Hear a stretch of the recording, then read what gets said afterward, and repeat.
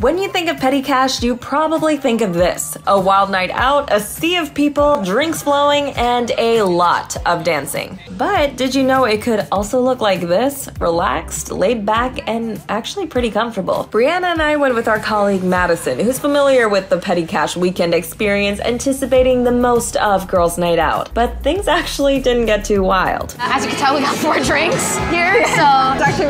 There's live music, vibes are good, right? Yeah, some guy was playing guitar. Like, I was like, yes. Yeah, it's true. During the week, Petty Cash is a pretty chill place. First and foremost, it's a neighborhood bar, so you can count on a solid selection of drinks, a food menu with wide variety, and, of course, some really amazing live music. Soaking, soaking, not soaping, soaking up.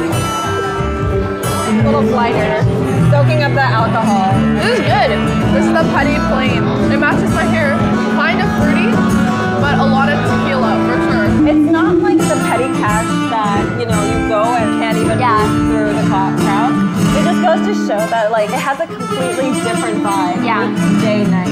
Some people like it crazy, other people like it chill. I like this vibe. I like diversity. This She likes diversity. That's I like diversity. friends. Yeah. Overall, if you just need a chill night out, you'd be surprised to learn that Petty Cash is just that place.